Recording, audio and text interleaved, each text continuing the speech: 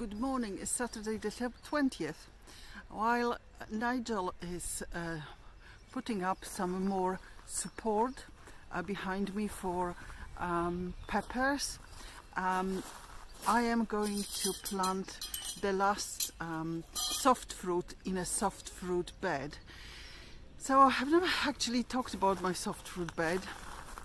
Um, so let me give you a very quick guide of it now. This is fairly fertile area because it was used for um, um, chicken run a um, few years ago.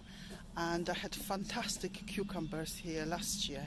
So all this area which is between the um, small raised beds and the chicken coop at the moment it's got eight soft fruit plants and I'm just going to put another one.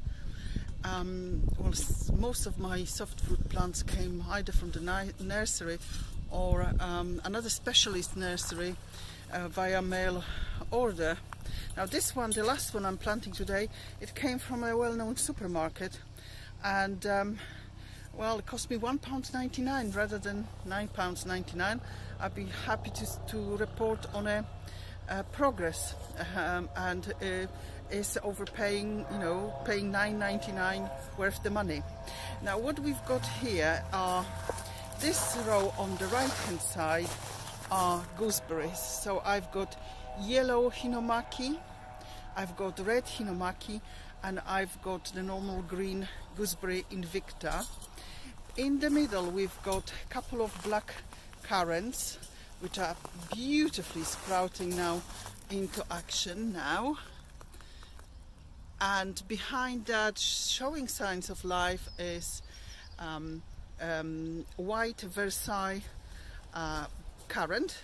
And next to it is Rosamunda planted uh, which I rescued from my hedge. And between the rows of the soft fruit. I, at the moment I'm, I'm using the space for putting first early potatoes in buckets. And here I've got red, um, couple of red currants called uh, Jonker van Tets. Tets, yes, Jonker, Jonker van Tets. Um, and one is from the garden center and one is via mail order. And the last space just here, I'm going to be planting another red uh, gooseberry uh, called Hinnomaki Red. My red Hinnomaki gooseberry were looking much smaller than those I bought from nurseries but bursting with life and let's have a look how it goes. I shall report on that later.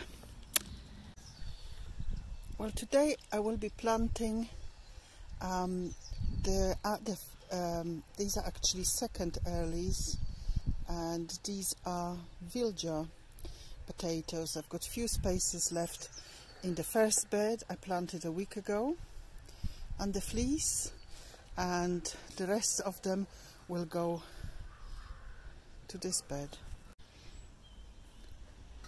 So I will shortly um, plant these potatoes and I've got still half a bed left and another very large bed in front of it. So I think all my potatoes are going to go in these three horizontal to the rest of the allotment beds. And um, Nigel is putting more supports. I just take you very slowly. So he's putting more supports um, um, in these two uh, beds without netting which he just completed today. Uh, we're going to be planting peppers and chilies uh, with the little covers on them. So they are like mini greenhouses, mini polytunnels.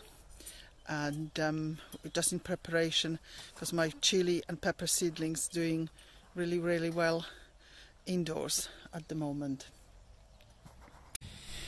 Well, these are sort of spaced out about 30 to 40 centimeters apart maybe a little bit too dense but we will see. And just to I think it's worth mentioning that these two these three beds, the potato beds, are going to be a bit of an experiment in a sense that we're not putting the cardboard down, we're just putting the uh, manure and compost down uh, over the normal ground. And we will see if we can cope without putting the cardboard. If not, uh, over winter we will put ca uh, cardboard and some and some um, more compost on top and deal with it that way. So many more things to plant.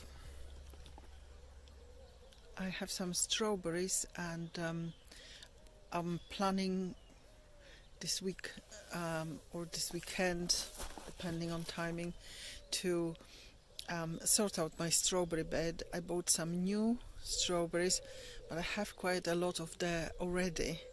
It's this one, I think actually I know the variety.